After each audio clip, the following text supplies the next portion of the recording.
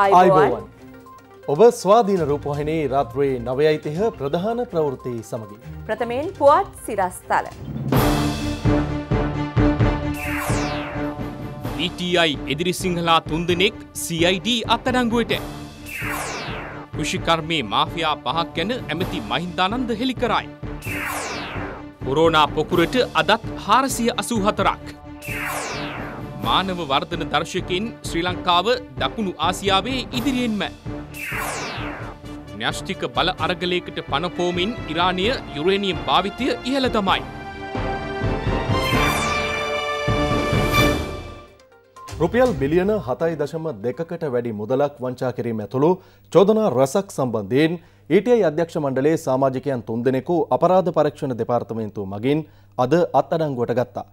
ඔවුන් අධිකරණයට හෙට ඉදිරිපත් කරන බව පොලිස් මාධ්‍ය ප්‍රකාශක නියෝජ්‍ය පොලිස්පති අජිත් රෝහණ මහතා ප්‍රකාශ කළා.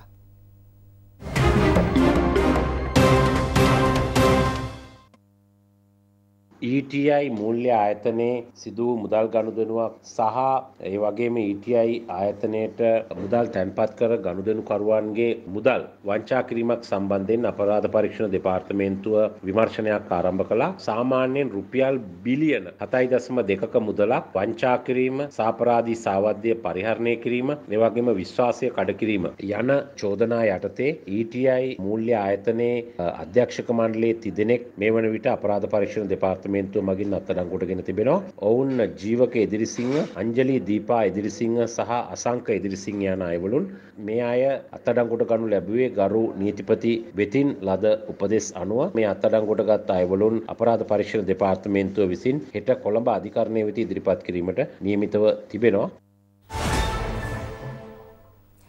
එක්සත් ජාතීන්ගේ මානව වර්ධන දර්ශකය පිළිබඳ නවතම වාර්තාවට අනුව ශ්‍රී ලංකාව දකුණු ආසියාවේ ඉදිරියෙන්ම සිටිනවා. එක්සත් ජාතීන්ගේ සංවර්ධන අරමුදල සකස් කළ නවතම මානව වර්ධන දර්ශක වාර්තා අග්‍රාමාත්‍ය මහින්ද රාජපක්ෂ මහතා වෙත අද බහර දුන්නා. එක්සත් ජාතීන්ගේ සංවර්ධන අරමුදලේ ශ්‍රී ලංකා නේවාසික නියෝජිත රොබර්ට් ජූහක මහතායි අග්‍රාමාත්‍ය මහින්ද රාජපක්ෂ මහතා වෙත මෙම වාර්තාව පාරදුන්නේ. ඒ විජේරාම නිවසේදී. මෙවර වාර්තාවට අනුව ශ්‍රී ලංකාව දකුණු ආසියාවේ ඉදිරියෙන්ම සිටින්නේ රටවල් එකසිය අසු නමයක් අතුරින් හැත්තෑ දෙවන ස්ථානයට පත්වෙමින්. ඉන්දියාව සිටින්නේ එකසිය තිස් එක් වන ස්ථානයේ. පාකිස්ානය එකසි පනස් හතරවන ස්ථානයේ පසුවන අතර ඇෆ්ගනිස්ථානය එකසි හැට නම්වන ස්ථානයේ පසුවනවා. නේපාලය එකසි හතලිස් දෙවන ස්ථානයත් බංගලාදේශය එකසිය තිස්තුන්වන ස්ථානයත් භූතානය එකසි විසි නමවන ස්ථානයත් පසුවන විට මලදිවෙන අනු පස්වන ස්ථානයේ පසුවනවා. ආයු අපේක්ෂාව සාක්ෂරතාව ආදිය මානව වර්තන දර්ශකය මැනපැලීමේදී උපයෝගී කරගන්නවා. මානව වර්ධන දර්ශකයේ ශ්‍රී ලංකාව ඉතා ඉහළ ස්ථානික පසුවීම සතුටට කරුණක් බවයි එක්සත් ජාතීන්ගේ සංවර්ධන වැඩසටහනේ නේවාසික නියෝජිතයා සඳහන් කළේ. ශ්‍රී ලංකාව එක්සත් ජාතීන්ගේ සංවර්ධනයේ තිරසර සංවර්ධන ඉලක්ක කරා ළඟාවමින් සිටින බව අග්‍රාමාත්‍යවරයා මෙහිදී ප්‍රකාශ කළා. මේ අතර අග්‍රාමාත්‍යවරයාගේ කොළඹ දිස්ත්‍රික් සම්බන්ධීකාරක ලෙස දෙහිවල ගල්කිස්ස හිටපු නගරාධිපති ධනසිරි අමරතුංග මහතා පත් කර තිබෙනවා. ඊට අදාළ ලිපිය අග්‍රාමාත්‍යවරයා අතින් ඒ මහතා ලබා ගත්තා. කොරෝන ආසාධිතීන් හාරසි අසූ අතර දෙනෙකු අද දිනේ අලුතින් හඳුනා ගත්තා. කොරෝන ආසාධිතව රෝහල්වල ප්‍රතිකාර ලැබූ හාරසිය හතලිස් පස් දෙනෙකුට සුවය ලබා නිවෙස් වෙත යාමටත් අද හැකි වුණා.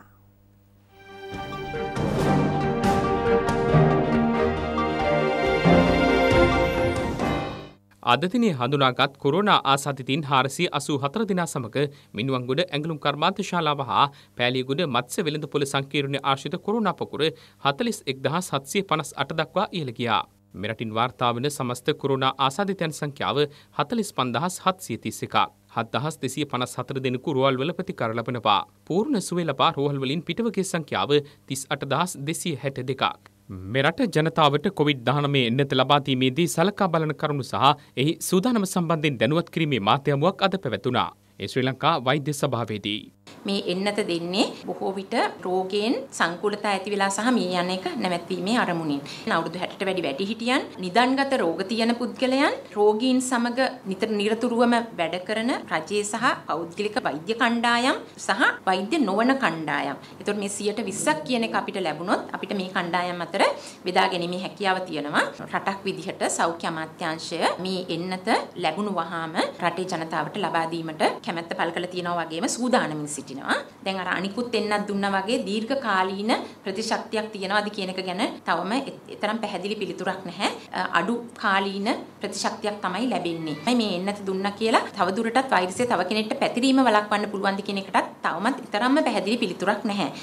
රාජ්‍ය මාත්‍ය සිසිර ජයකොඩි මහතා නාවින්න බණ්ඩාරනායක අනුස්මරණ ආයුර්වේද පර්යේෂණ ආයතනයට පැමිණ වෛද්‍යවරුන් සමග සාකච්ඡාවක් පැවැත්වූපා. ආයුර්වේද රෝහල් පද්ධතියට කොවිඩ් රෝගීන් ඇතුළත් කිරීම පිළිබඳ සාකච්ඡාව තමයි අද පැවති. මේ ආයුර්වේද නාවින ආයුර්වේද පර්යේෂණ රෝහල කේන්ද්‍ර කරගෙන නේවාසික රෝගීන් කොවිඩ් රෝගීන් ඇතුළත් කරලා ප්‍රතිකාර මධ්‍යස්ථානයක් වශයෙන් ආරම්භ කිරීමට අවශ්‍ය ඉඩකඩ අද දවස් සොයා බැලුවා. මේ පිළිබඳව අපි අධ්‍යයනයන් රාශියක් කළා. ඒ සඳහා සෞඛ්‍ය අමාත්‍යාංශයේ සහ අනිකුත් සියලු අංශවල සහයෝගය ලබාගෙන වෙනස් ක්‍රමයකට යන් නිදහස් පරිසරයකට පැමිණීමට අවශ්‍ය ඉඩකඩ සපයමින් සෞඛ්‍ය ආරක්ෂිත ක්‍රම අනුගමනය කරමින් අපේ ජාතික කමිටුව අනුමත කරපු ආයුර්වේද ඖෂධ වර්ග තමයි මේ රෝහල් පද්ධතිය අපි ලබා දෙන්නේ.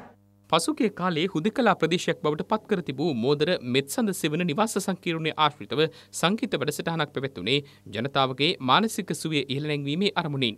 අග්‍රාමාත්‍ය කාර්යාලය මෙහිවීමෙන් බස්නාහිර පළාත භාර නියෝජ්‍ය පොලිස්පති කාර්යාලය එම කටයුතු සංවිධානය කළා.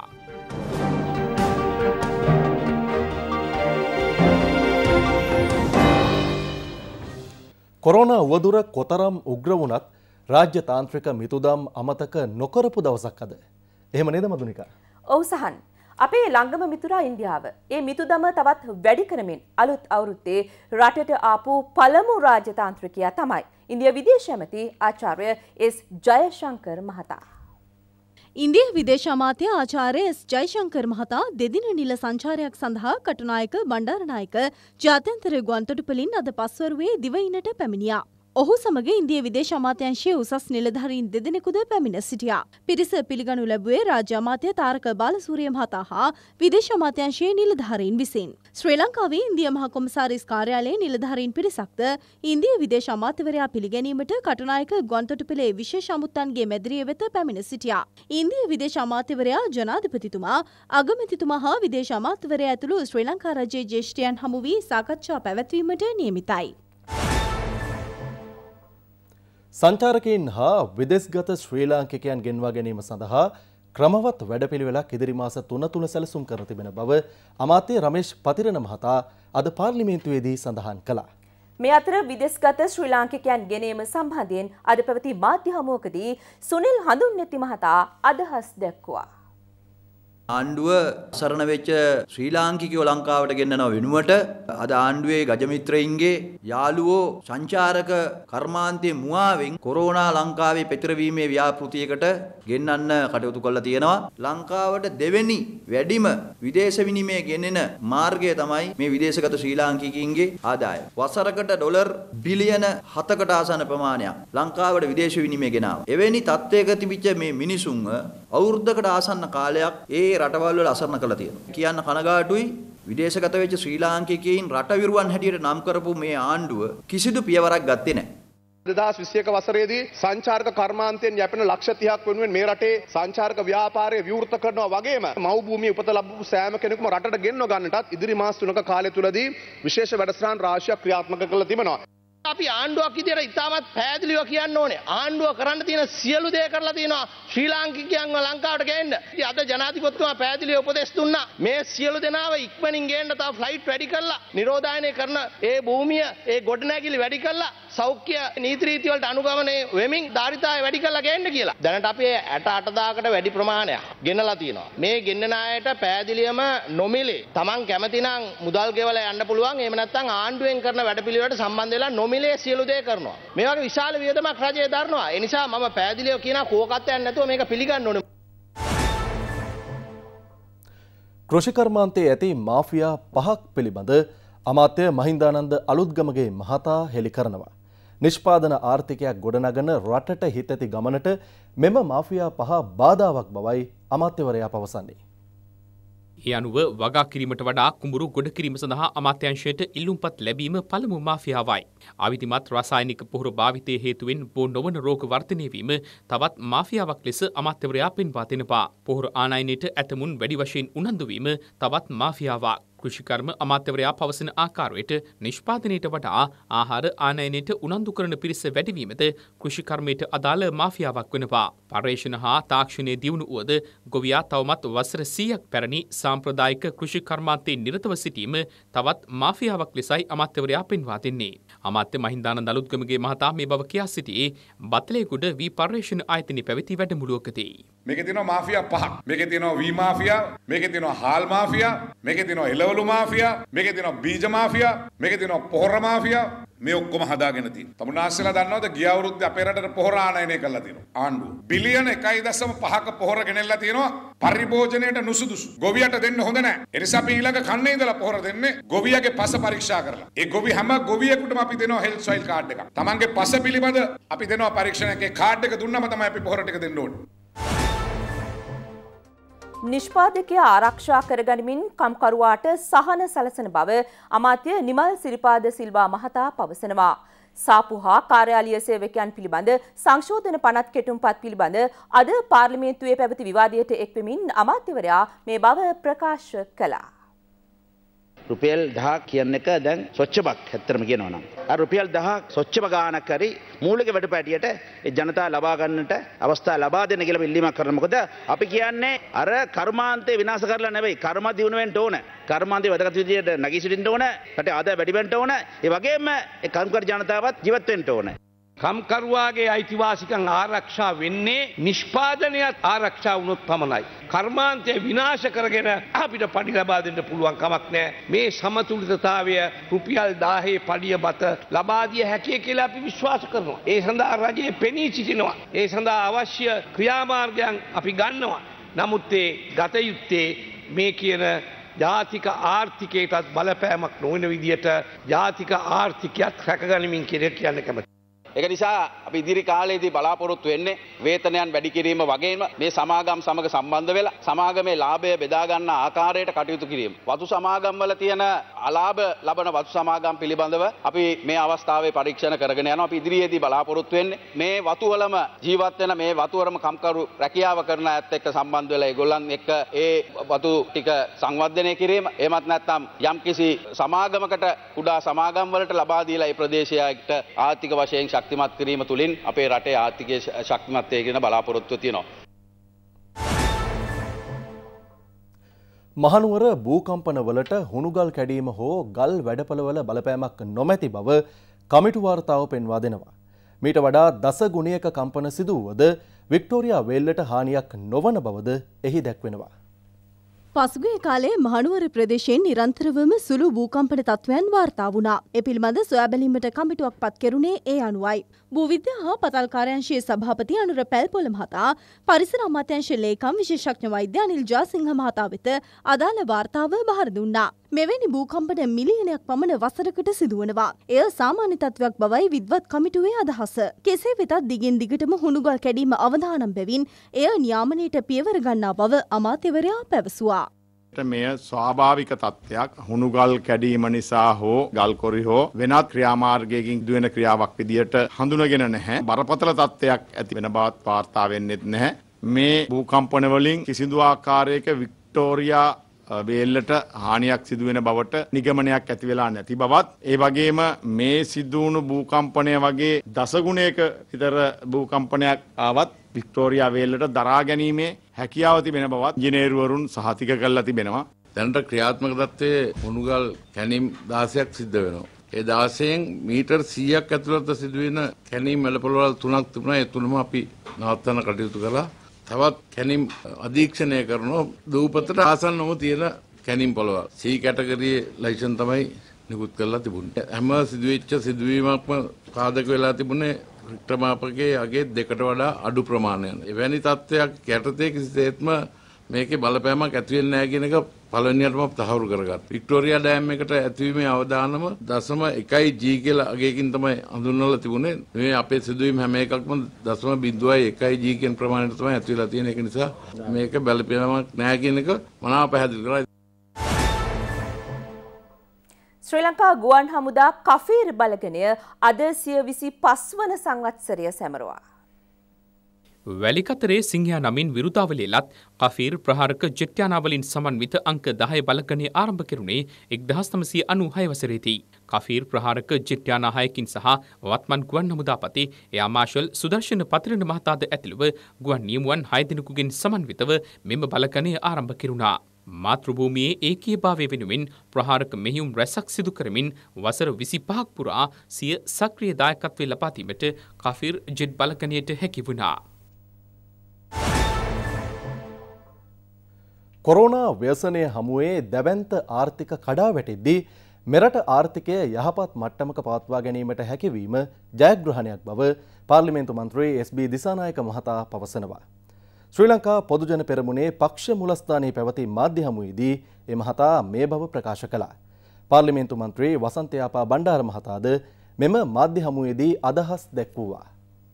කොවිඩ් සංගතයත් එක්ක මුළු ලෝකයේම ආර්ථිකයන් කඩාගෙන වැටුණා. මේ අතර ශ්‍රී ලංකාවේ අපි 2015 106 7ට ගෙනල්ලා තිබ්බ රටක් නහින්ද රාජපක්ෂ ජනාධිපතිතුමා යහපාලන රාජ්‍ය අතට ගිහිල්ලා ඒක 103ට 3.4ට කඩාගෙන වැටිච්ච අනාරක්ෂිත වෙච්ච රටේ ආර්ථිකය විශාල අවුලකට ගිහිල්ලා තිබ්බ රටක් බාර අරගෙන උනා. තුමාට ශක්තිය ලැබිලා තියෙනවා මුළු ලෝකේ හතර ගාතේ වැටෙද්දී අපි සියයට තුනයි දසම නවයක සියයට හතරක විතර හඳවා ගන්න. අපේ රටේ ආර්ථිකයේ එහෙම හතර ගාතේ වැටෙන්න මේ රජය ටිකරු ජනාධිපතිතුමා ගරු අගමැතිතුමා ඉඩ දීලා නැහැ. ගම සමග පිළිසඳරක් කියන වැඩසටහන දැන් අපි සාකච්ඡා කරනවා වැඩ සමග යලි ගමට කියන වැඩසටහන. ඒ හරහා අපි බලාපොරොත්තු වෙනවා ඇත්ත වශයෙන්ම ලෝකයේ සෑම රටකම පාහේ ආර්ථික සමාජ දේශපාලන අර්බුදයන් හටගෙන ඒ ආර්ථිකයන් කඩා වැටෙන මොහොතේ වත් ශ්‍රී ලංකාවේ මහජනතාව කොහොමද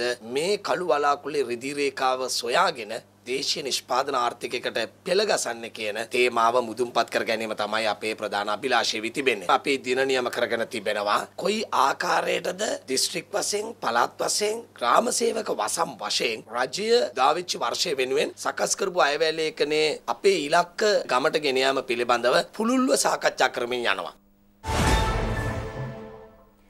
දිස්ත්‍රික් පහළවකට අයත් වනාන්තර හැට නවයක් ගැසට් මකින් රක්ෂිත බවට ප්‍රකාශයට පත් කිරීම සඳහා අද අත්සන් තැබුණා. ඒ පරිසර අමාත්‍යංශයේදී. රාජ්‍ය අමාත්‍ය විමලවිර දිසානායක මහතාහිදී මෙලෙස අදහස් පළ කළා. අපි කැලේ විනාශ කරන කැලේ නසන ස්වභාව සෞන්දර්ය විනාශ කරන රයේ තෙතමනයක් නැති කඳුලක් කරන්න නැති මිනිස්සු විදිහට තමයි පහුගිය දවස්වල විශේෂයෙන් විරුද්ධ පක්ෂයත් ඇතැම් මාධ්‍යත් ප්‍රකාශයට පත් කළේ. හැබැයි අපි එහෙම කරන්නේ අපි ඒව ආරක්ෂා කරන්න බලන්නේ. මිනිසා අත්තර වනය රකින්න බෑ. වනය අත්තර මිනිසා රකින්නත් බෑ. වනජීවියා වනාන්තරේ සහ මිනිසා කියන මේ ත්‍රිත්ව සාධක තුන සමවරව පවත්වාගෙන තමයි අපි උත්සාහ කරමින් ඉන්නේ.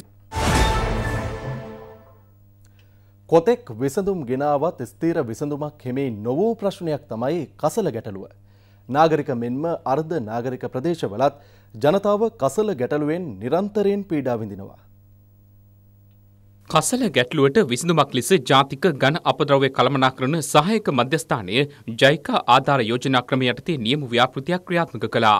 එහි පළමු ව්‍යාපෘතිය කුණ්ඩසාලේ අලුත්වත්ත ප්‍රදේශයේදී ආරම්භ කෙරුණා. එම කොම්පෝස්ට් ව්‍යාපෘතිය ලැබූ සාර්ථකත්වය මත සියලු පළාත් නියෝජනය කරමින් ව්‍යාපෘති නමයක් ක්‍රියාත්මක කිරීමට තීරණය කර තිබෙනවා. නමුල්ල දිගම්පතන කොම්පෝස්ට් ව්‍යාපෘතිය සාර්ථකව ක්‍රියාත්මක වන අතර එය නිරීක්ෂණයටද මාතවේදීන්ට අවස්ථාව හිමි වුණා. සොබා සිලෝන් නමින් නවතම ස්වභාවික ආයුර්වේද නිෂ්පාදන පෙළක් ඇලරිස් ලංකා පෞද්ගලික සමාකම වෙළඳපළට නිකුත් කර තිබෙනවා.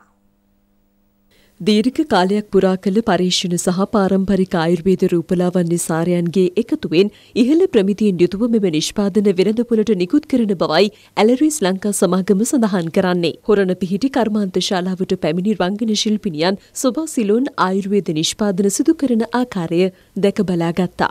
ඇලරිස් ලංකා සමූහ ව්‍යාපාරය අධිපති තරංග ලංකා වීරවර්ධන මහතාගේ අදහසකට අනුවයි සොබාසිලෝන් නිෂ්පාදනය කෙරෙන්නේ. අපි අවුරුදු දෙකහමාරක් කාලයක් තුළ පරීක්ෂණ පවත්වලා ඒ වල ප්‍රතිඵලය විදියට සියලුම අමුද්‍රව්‍ය ලංකාවෙම සපයගෙන ජාත්‍යන්තර ප්‍රමිතීන්ට අනුව මෙහිදී මේ සබාසිලෝන් නිෂ්පාදන පෙළ එළි දක්වලා තියෙනවා. අපේ පාරිභෝගික ජනතාවට දැරිය හැකි මිලකට දෙන්න ලැබීම සතුටක්. මේක ආයතනයක් විදියට අපි ලැබු ලොකු ජයග්‍රහණයක්. ලාංකීය අපේ පාරිභෝගික ජනතාවට ප්‍රමිතියෙන් උසස් නිෂ්පාදන ලබා දීමට අපේ කාර්ය මණ්ඩලය අපකැප වී සිටින බව කියන්න සතුටුයි. ඒ සමගින් ස්වාධීන රූපහිනේ රාත්‍රයේ නවයයිතිහ ප්‍රධාන ප්‍රවෘති අවසන්. ඔබට සුබ රාත්‍රයක්.